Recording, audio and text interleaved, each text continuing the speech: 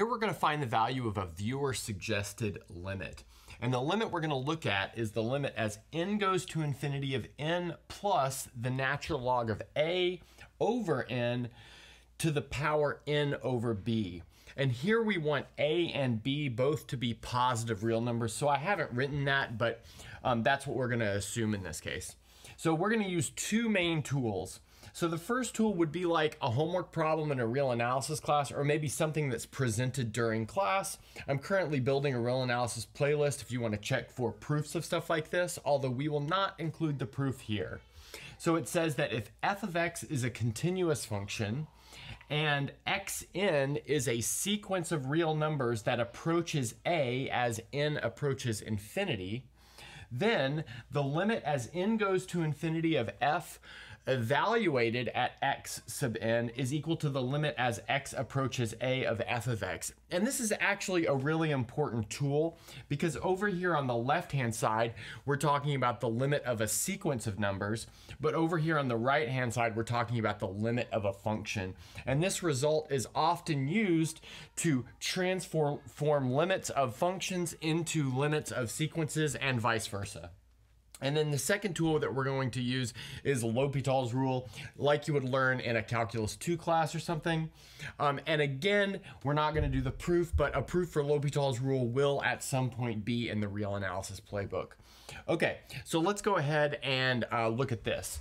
So the first thing that I want to do is set this limit equal to L. And the big hint for why to do that is because as n approaches infinity here, the interior of these parentheses approaches the number 1. So that's pretty easy to see because that's just a rational function. Recall that natural log of a is a constant in this case.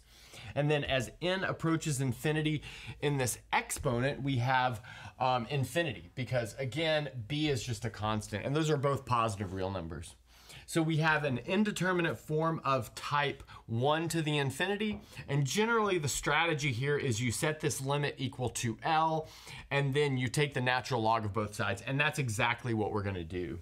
So here we'll take the natural log of both sides of this. So the natural log of L is going to be equal to the limit as n approaches infinity of the natural log of the argument of this limit, but using logarithm rules, we can bring this exponent down.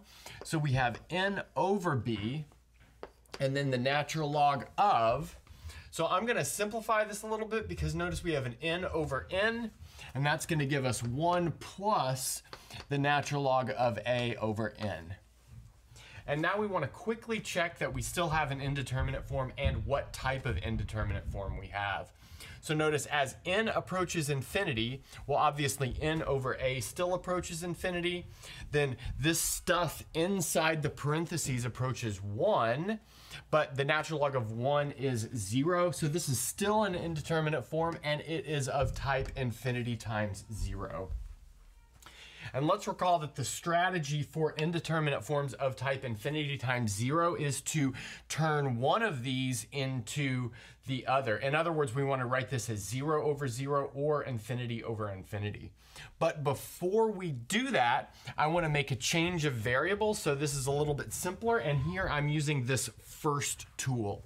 So what we want to do is set x equal to 1 over n in other words, we've got a sequence xn, and our sequence there is xn equals 1 over n. So there we've got like xn is approaching 0 as n is approaching infinity. And that's going to change this to the limit as x approaches 0.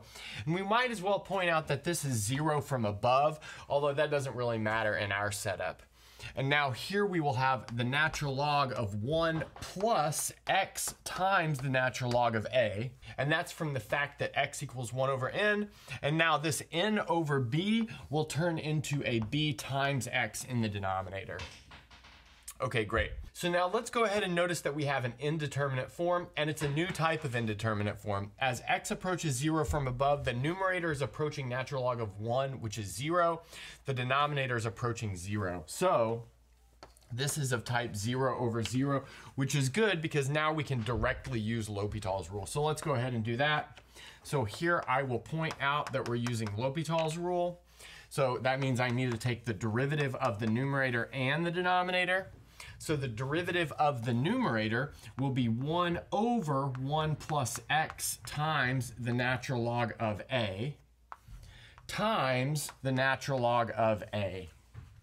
So, like I said, that is just the derivative of the numerator, and maybe we'll talk our way through that. We use the chain rule here, so the derivative of a natural logarithm sends the argument to the denominator, and by the chain rule, we have to take the derivative of the argument. So here we sent the argument to the denominator times the derivative of the argument.